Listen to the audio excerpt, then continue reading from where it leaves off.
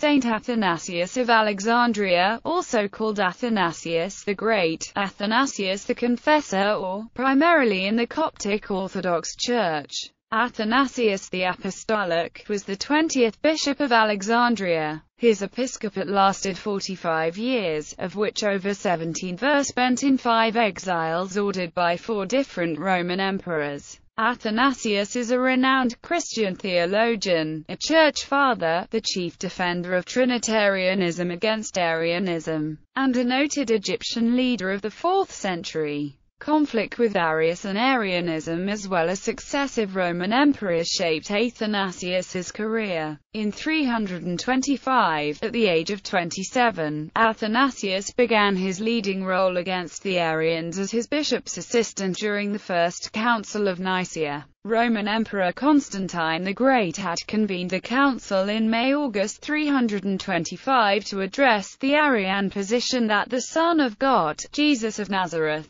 is of a distinct substance from the Father. Three years after that council, Athanasius succeeded his mentor as Archbishop of Alexandria. In addition to the conflict with the Arians, he struggled against the emperors Constantine, Constantius II, Julian the Apostate and Valens. He was known as Athanasius Contra Mundum. Nonetheless, within a few years of his death, St. Gregory of Nazianzus called him the pillar of the Church. His writings were well regarded by all Church Fathers who followed, in both the West and the East, who noted their rich devotion to the Word become man, great pastoral concern, and profound interest in monasticism. Athanasius is counted as one of the four great Eastern doctors of the Church in the Roman Catholic Church. In the Eastern Orthodox Church, he is labeled the Father of Orthodoxy. Some Protestants label him Father of the Canon. Athanasius is venerated as a Christian saint, whose feast day is the 2nd of May in Western Christianity, the 15th of May in the Coptic Orthodox Church,